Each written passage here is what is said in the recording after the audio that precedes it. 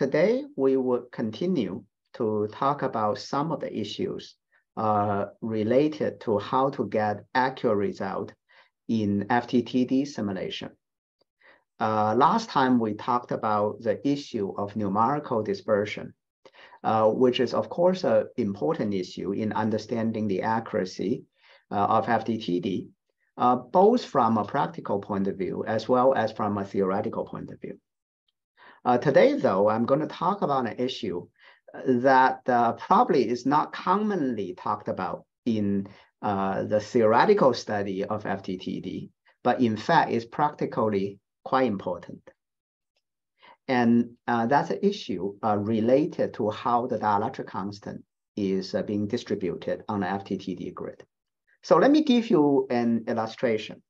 Uh, in the early part of this tutorial, we gave you this very simple example of trying to simulate the transmission spectrum uh, through a dielectric slab.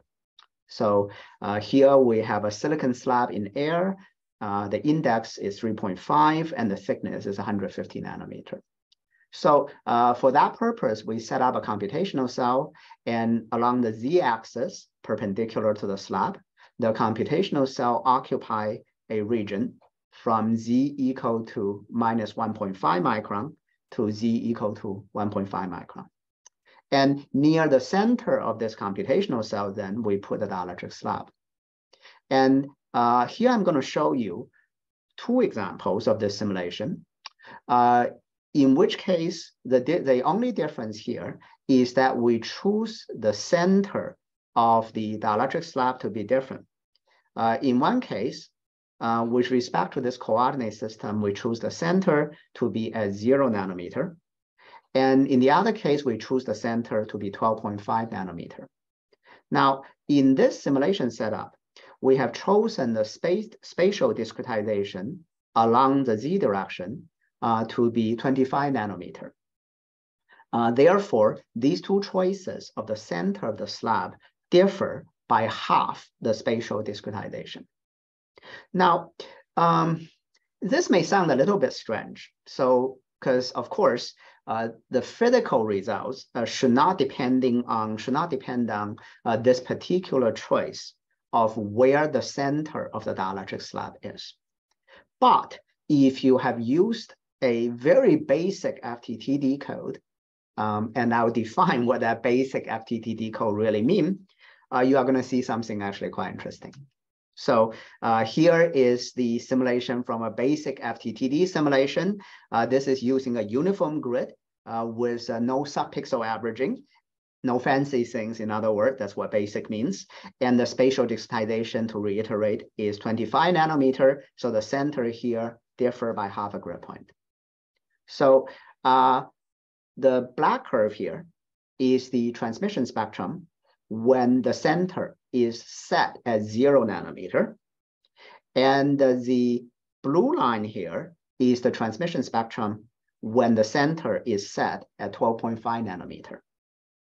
And to set a baseline, the red curve here is the analytic results when the uh, analytic result for this slab, which is 150 nanometer thick. So immediately what you see is that the blue curve, which correspond to a center 12.5 nanometer, is much closer to the analytic results as compared to the black curve, which is at the center of zero nanometer. Uh, in fact, you can see that the peak of the transmission peak of the resonances, these are the Fabry-Perot resonances that we mentioned earlier, uh, shifted uh, probably by approximately maybe 50, uh, 50 terahertz or so, which is very, very large shift, uh, corresponding only to a small shift in the center position that you place your slab. Now, uh, to understand this a little bit more, uh, it is very important to think a little bit about how FDTD calculation actually is carried out. So uh, in this case, we're looking at normal instant light. So you can simplify the relevant part of the FDTD algorithm uh, by considering Maxwell equation uh, in one dimension. And uh, in one dimension, uh, the Yee's grid becomes simply just a stagger grid.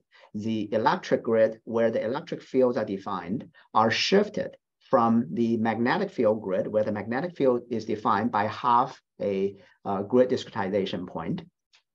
And in FDTD, the dielectric function uh, is uh, uh, in operation is multiplication on the electric field. Therefore, it is very common that you will assign the dielectric function on where the electric field grid is. So the epsilon and the E are co-located, but E and H are not. Now, with this, the setting up of a dielectric structure in FDTD then translate into setting up the dielectric function at the electric field grid point. And so uh, let's start by taking a look at the more accurate case where we set the center to be 12.5 nanometer.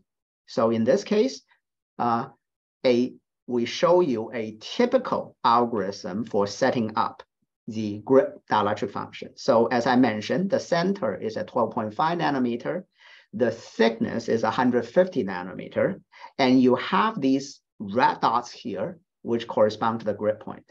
So uh, the most standard way you can think about is to say, well, let me start with the center.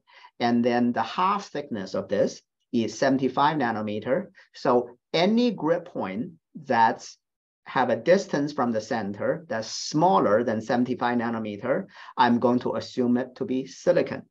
And anything that's outside, I'm going to assume it to be air. So, uh, and if you do this algorithm, again, the center is at 12.5, and you can see that uh, the uh, you have exactly six grid points that are assigned to the value of silicon, the dielectric function of 3.5, and outside is air right? The six then uh, starts at minus 50 and ends at 75. Now, as I mentioned, the discretization is 25 nanometer. So if you have six grid point assigned, the nominal thickness that you actually simulate is also 150 nanometer. So the result is that your FDTD simulation actually agree quite well to the analytic work. So uh, now you can see a little bit of discrepancy uh, this comes about because we're using a fairly coarse grid uh, for uh, this particular structure, and therefore, uh, in this case, you have uh, effect, effects of numerical dispersion, as we mentioned previously. On the other hand, if you shift the center of the slab by half a grid point, you can repeat this counting process. So in this case, the center is at zero nanometer, and your algorithm is going to assign anything that's within 75 nanometer away from the center to be silicon. So if you repeat this algorithm, you are going to see that the negative 75 nanometer here is going to be assigned as silicon, and the positive 75 nanometer here is also going to be assigned as silicon. So consequently, if you were to count from here to here, from negative 75 to positive 75, and if you count this, in fact, you are going to have seven rather than six grid points that are assigned to be silicon. And therefore, even though you think that you are simulating a silicon layer that has a thickness of 150 nanometer, the way the dielectric constant is assigned, you are actually simulating a layer that's 175 nanometers thick. And in fact, if you take a look at the dash line here, which is this case where we send the grid point, send the slab center zero nanometer, and you compare with the analytic result for a thickness of 175 nanometer, you actually get pretty good agreement.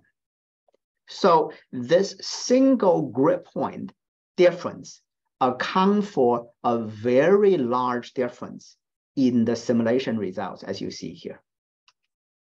So the lesson here is that it is very important in FDTD to understand how the dielectric constant is assigned to the E lattice. And uh, a single grid point assignment difference can actually make a very large difference because that's a substantial change of the dielectric structure.